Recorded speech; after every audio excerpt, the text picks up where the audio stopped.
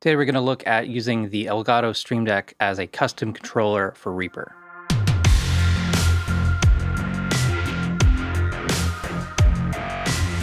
This video is sponsored by Skillshare. Stay tuned to the end to hear our special offer.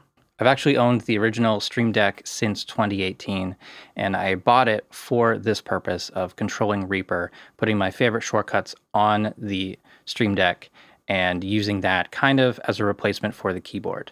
Um, originally, I wanted to do drum editing with my laptop, a mouse, and the Stream Deck and not use the keyboard at all. It turned out that the feel of the buttons wasn't ideal for that, but I think it's still a powerful tool um, for other tasks, uh, the less common functions that uh, you might use on a regular basis, but not enough that you actually want to replace the keys on your keyboard with those functions. The Stream Deck also has the benefit of being a touchscreen, so it's got labels and images to help you remember what function is what. Mostly I'm using the Stream Deck for recording my videos. So I'm using the Streamlabs OBS software. I have a custom layout with all my different scenes audio sources. Uh, under more, I've got my record and start stream buttons, different kind of overlays. And as I'm recording, I can do things like switching camera angles or switching to uh, multiple camera angles like this. And these are just different scenes in OBS.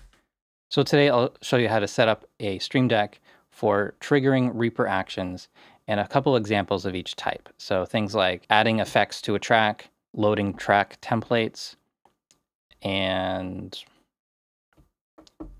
and I'm not sure what else, but uh, let's give it a try. So we're going to open up the Stream Deck editor software here now, and we're going to create a new profile. If it's showing default profile, just add a new profile, and we'll call this Reaper. Can we rename it here? No. To rename it, you actually have to go into the Edit Profiles page. I'm going to rename it Reaper.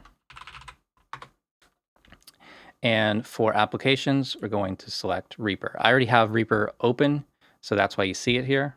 But if you don't see it there, you can choose Other and then select Reaper. When you set this up in the profiles, that means that if Reaper is the active application, then your Stream Deck profile for Reaper will appear on the Stream Deck. So it's automatically switching. And that's a pretty awesome thing when it works. Sometimes it's a little slow uh, jumping between different apps. So I've got Reaper active and you can see that empty profile is visible there. If I switch to Streamlabs OBS, it loads. If I switch to Firefox, then my Firefox logo or setup is visible. All right, so I'm just going to delete this one. Let's first set up a profile switch. So I always put the top left button as going to the profiles. And so I make it go back to the default profile. And I usually don't even label it. But the basic workflow and interface of this is to drag a function from the right column onto one of the buttons. This is the basic Stream Deck, so it has 15 buttons, but each button can be anything. It can be a folder, which unlocks another 14 uh, buttons, and you can have folders inside of folders if you need them. But mostly we're going to be using the hotkey type of action here uh, Reaper has really good macro functions with the, with the custom actions, cycle actions, and scripting. All we need to do is assign a keyboard shortcut to trigger those. So rather than building macros with the multi-action function in the Stream Deck, we can do almost everything inside of Reaper. Hotkey will just send a keyboard shortcut to Reaper as if you were pressing the button on your keyboard. Um, pretty simple. You just want to make sure that it's something that's not already assigned. Let's just do the task of setting up different screen sets. So let's do screen set one. If you're unfamiliar with screen sets, then um, check my video on screen sets. I really love them. One of the easiest things you can set up to work more quickly in Reaper. All right, so if you click into this box, it's going to be, it says observing keystrokes. We're just going to press a button that's the shortcut that's assigned. If you'd rather go through the menu and search through here, different like numpad, numpad keys or F keys, um, you can find the keyboard shortcuts that aren't actually on your physical keyboard uh, from that list. So we've got screen set one. I'm just going to duplicate this, Control C, or Command C on Mac and Control V We'll paste that. And we'll call this screen set 2. And I know that I have my screen sets assigned to 1, 2, 3, 4, 5 on my keyboard. So I actually only use screen sets 1 and 3 most of the time, unless I'm doing video editing, which uses uh, 4 and 5. But let's just clean these up a little bit. All right, so in Reaper, I've got screen set 1, which closes all windows and just gives me the arrange view, and screen set 3 brings up the mixer with a docked toolbar and a docked effects browser. And I can easily switch between those two. You know, most of the time I'm going to have my hand on the keyboard already. I'm going to use the keyboard for that, but it's just an example of something you can do with the Stream Deck. Let's say you have a favorite effect and you want to add that to a track with a button on the Stream Deck. Let's set that up now. So I'm going to go to a track and click on the effects button, find one of the effects that I want, like Duck from Devious Machines, one of my favorites. I'm going to right click, create shortcut. And in here, we just choose a keyboard shortcut. Let's make it something that's unlikely for me to accidentally press Control Alt 1 and OK. And that's not already assigned. So if I press Control Alt 1, that adds in the plugin. Cool. Let's clear that and go over to the Stream Deck software. Let's put the effects in a folder. So right click and create folder. And let's name this folder effects. Give this a color. Let's do orange for the text color. Cool. And maybe a little bit bigger. Works for me. So inside there, we can just double click to open it. And we're going to add in a new hotkey. And so we'll call this one duck. Now in the hotkey section, we can add that keystroke, which was Control Alt 1. Now when I switch over to Reaper and I press that button for duck, duck gets added to the track. If I press it multiple times, more of them will be added to the track.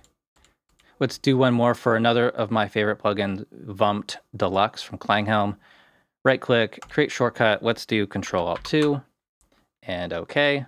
And then we'll switch over to Stream Deck. And let's just, often it's faster to just duplicate, rename. So we'll call this VUMT. And we'll give it the keystroke of Control Alt 2. All right, let's set up another one and do it the opposite direction. So we're going to um, pick a function, assign a keyboard shortcut, and then we're going to use the learn function in Reaper's action list to assign that to a function. So hotkey, give this a name like show effects chain.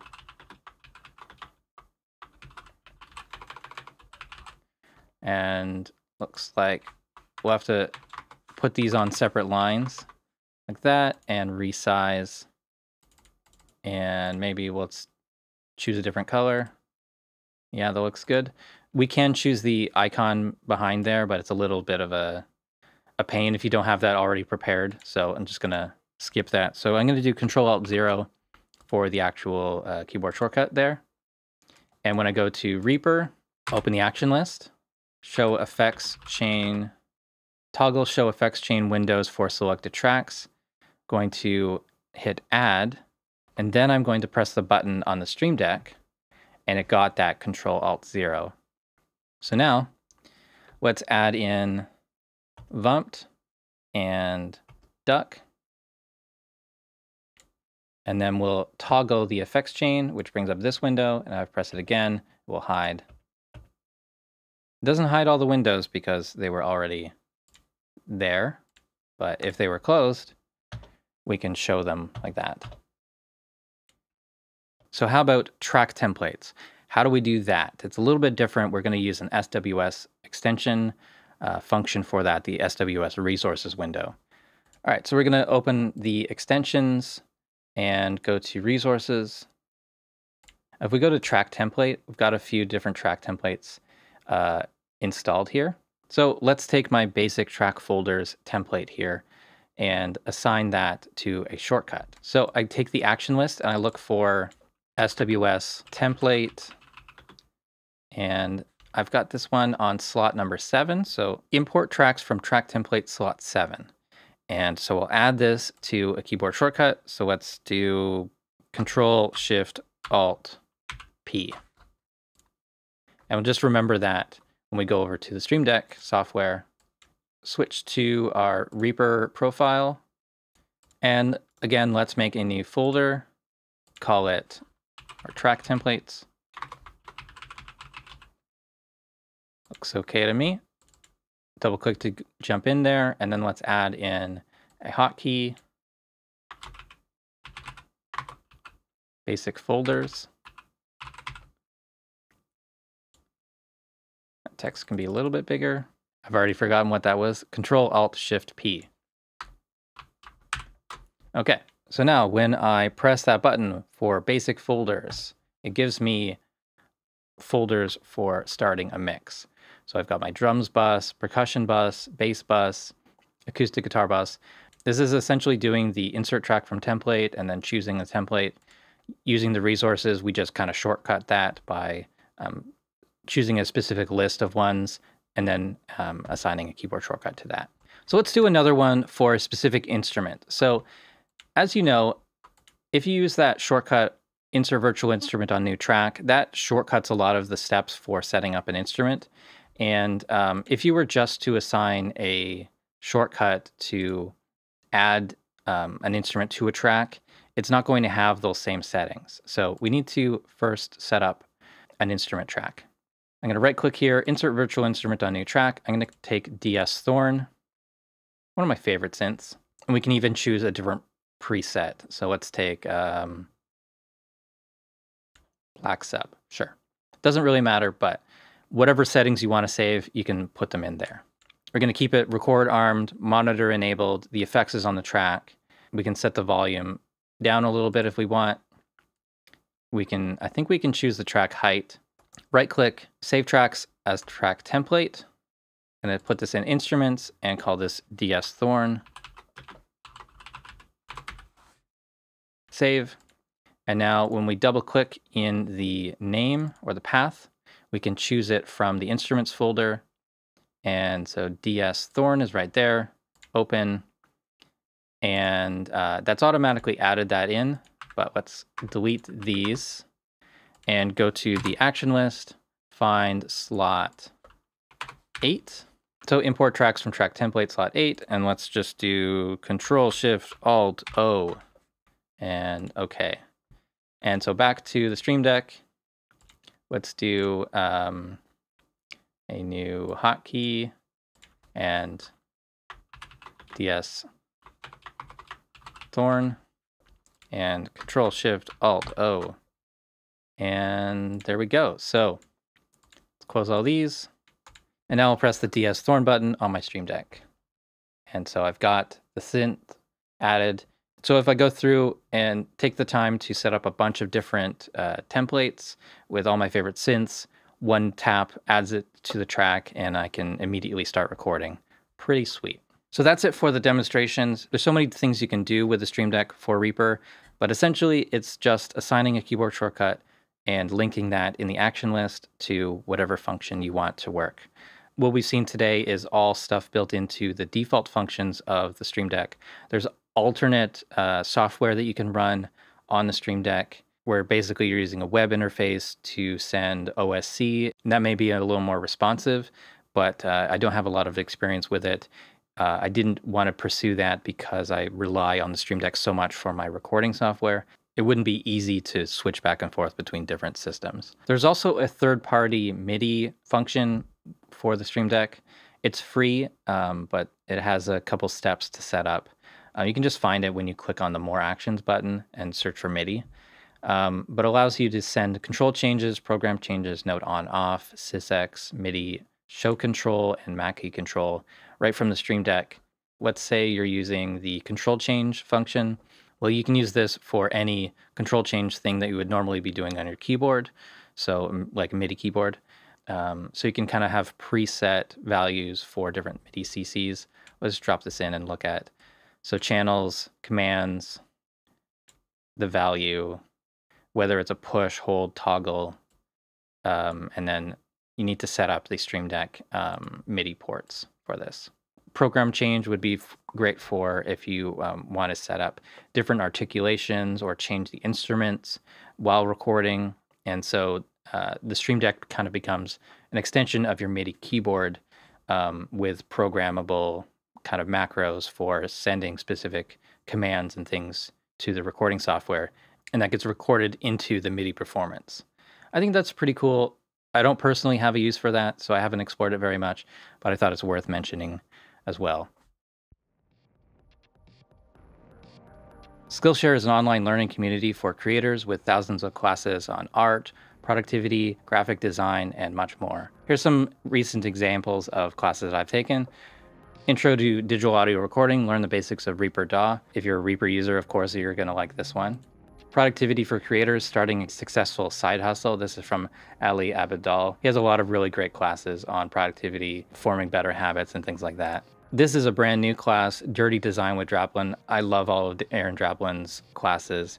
I've not a lot of interest in creating and doing graphic design myself, but uh, I love hearing his thought process and uh, I love his results. And so I'm excited to watch this one.